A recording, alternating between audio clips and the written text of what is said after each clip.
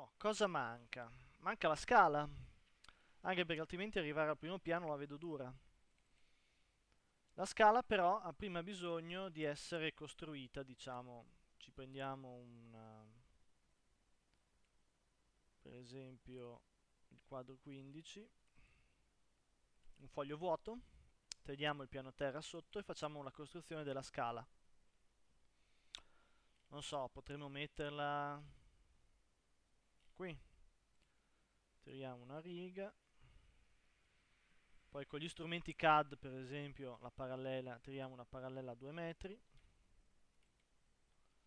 Proprio ad incontrare una finestra che dopo magari toglieremo. Dopodiché prendiamo un'altra riga di costruzione. Questa la mettiamo a 3 metri. Diciamo, questo potrebbe essere già l'ingombro di una scala. Tenendo sotto questo, adesso andiamo a costruirci la scala. Per costruire una scala si utilizzano strumenti molto interessanti che sono questi.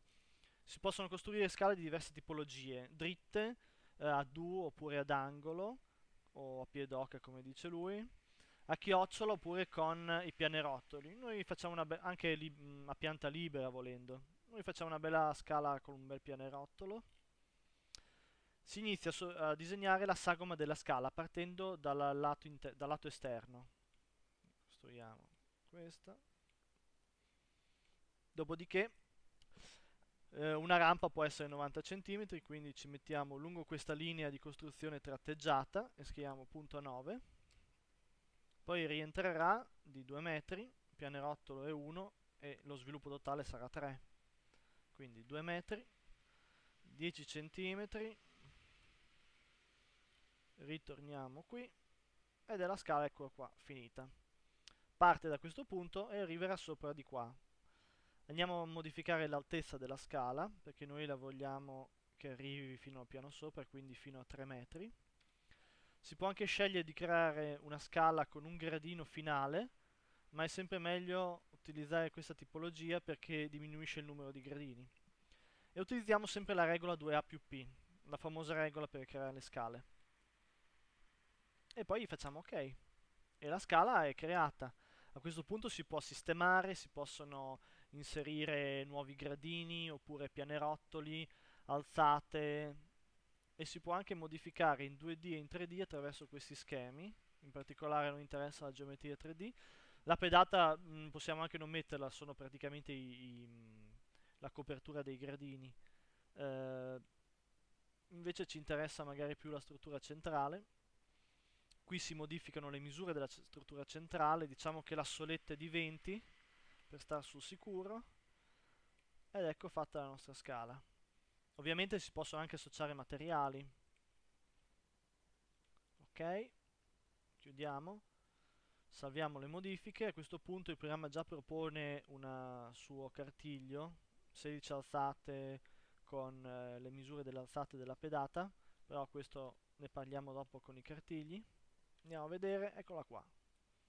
Una scala che interseca bene due finestre, abbiamo proprio fatta bene questa scala. Però insomma, queste finestre è meglio toglierle. Però insomma già una scala fatta così velocemente. Ovviamente la scala permette anche di, eh, cliccandoci sopra due volte, di rientrare e di modificare qualcosa. Per esempio possiamo aggiungere i corrimani, interno ed esterno. Adesso qui non sto a sistemare le varie opzioni, però insomma si può eventualmente. Chiudiamo la scala e salviamo le modifiche. Non salviamo ovviamente il cartiglio in questo momento perché l'etichetta non ci interessa. Ecco qui. Si possono anche eventualmente aggiungere i montanti e i traversi. Andiamo ora a sistemare le ultime cose. Beh, innanzitutto qui nel quadro 15 avevamo messo le costruzioni della scala, lo possiamo cancellare col secondo pulsante. Si clicca sul quadro e ci sono ovviamente, eh, scende la tendina con tutte le possibilità eh, di operare su questo, su questo, quadro. Per esempio possiamo eh, cancellare il contenuto del quadro, chiedere se vogliamo cancellare anche il nome, ma non gli abbiamo messo, comunque diciamo di sì. E il quadro è di nuovo pulito. Nella 14 invece avevamo messo la moda natura che trasformiamo anche questa in in oggetti 3D e andiamo a posizionare al primo piano che è il suo piano di riferimento, CTRL X, ok, poi CTRL ALT V, eccola qua. Dopodiché ci riguardiamo il nostro oggetto completo.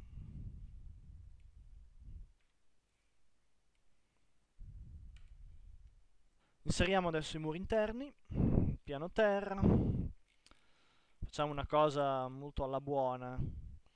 Allora prendiamo il muro, in questo caso lo modifichiamo, 10 cm per i muri interni va bene.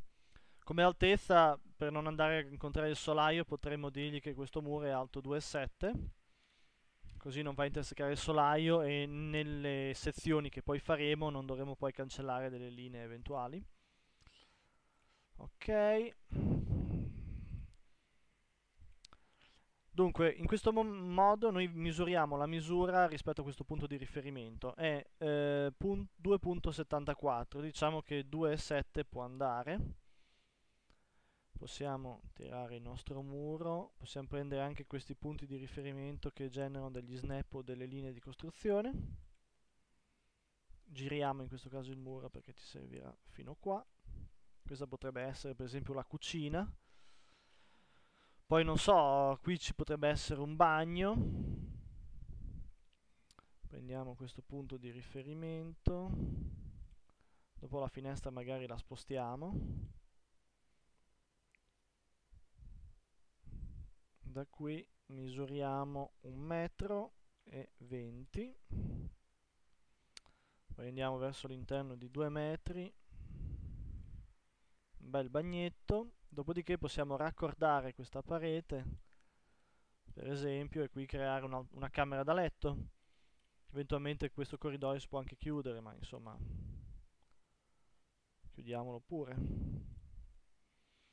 Ok, possiamo inserire le porte interne. Sono porte alte 2.1 normalmente e di 80 cm di larghezza. Non stiamo neanche a mettere eh, una macro perché tanto nelle porte interne, a parte non vedersi dall'esterno, ehm, eventualmente si vedono solo nelle sezioni, ma lì possiamo intervenire manualmente. Mettiamo però l'apertura e la battuta. Ne mettiamo magari, scegliamo questo come punto di riferimento, prendiamo questo come livello di riferimento a 10 cm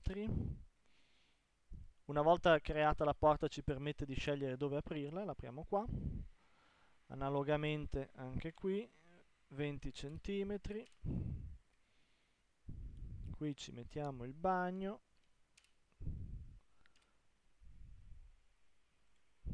E qui la camera da letto, anche questa magari a 20 cm così in asse con l'altra. Infatti l'ho fatto a 10, vabbè. Qui non è venuto. Se non viene perché magari uscite prima dalla, eh, dalla funzione eh, basta cliccare sopra andiamo a dare la battuta da qua che è questa. Se poi la battuta compare in un punto in cui voi non la volete basta cliccare sopra la battuta compare questa freccia e la potete anche direzionare in tutte le direzioni. Altrimenti se non volete la battuta a 90 gradi premete qua e la potete fare più piccola volendo quello del bagno normalmente si fa più piccolo. Ecco fatto. E qui invece abbiamo il grande soggiorno con la scala che sale. Andiamo sopra. Possiamo tenere sempre come riferimento i muri sotto. E sopra magari dato che si arriva qui ci possono essere due camere da letto e un bagno. Mantenendo magari il bagno qui anzi qui ci mettiamo la camera da letto. 5 metri. Raccordiamo questo muro con quello esistente. Qui ci sarà un bagnetto magari interno ad una delle camere. E qui possiamo mettere l'altra camera per esempio. Adesso ho tirato il muro storto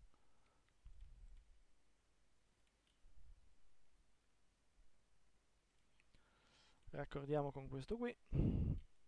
Per esempio e andiamo a metterci anche le porte.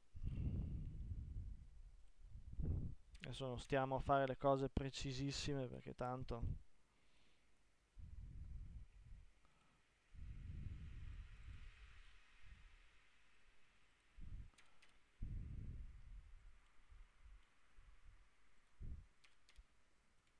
ecco qua volendo la battuta si può modificare da qui l'angolo.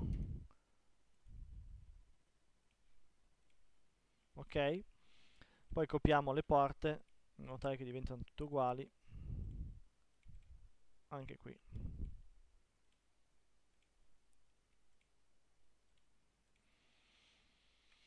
Bene. Abbiamo fatto un po' di casino. Questo muro magari lo mettiamo qui così il bagno diventa più grande. Come si vede tutti i tipi di modifiche si fanno velocemente quindi progettare comunque in Alplan è un modo di progettare veloce che genera subito un oggetto tridimensionale. Ora qui c'è la scala che sale ma non c'è il buco nel solaio. Andiamo a fare il buco nel solaio. I solai come altri oggetti architettonici ehm, andandoci sopra e cliccando col tasto destro del mouse permettono di aprire una tendina dove ci sono varie possibilità per esempio possiamo modificare i settori di campiture o le superfici di architetture come questo andando a sottrarre col meno una fetta di solaio questa che è quella della scala premendo ESC eccola qui sottratta e la scala compare che viene da sotto. Possiamo anche andare a modificare adesso la disposizione delle camere, per esempio adesso guardandoci bene effettivamente qui c'è un bagno accessibile solo da questa camera, allora potremo per esempio sistemare il bagno da quest'altra parte, con anche la sua porta, e raccordare questi due muri in modo tale da avere due camere accessibili e magari invece che aprire di qua la porta l'apriamo qui.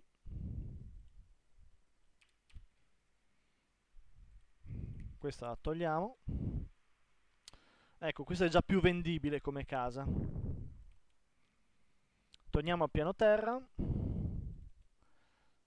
E andiamo ad inserire i vani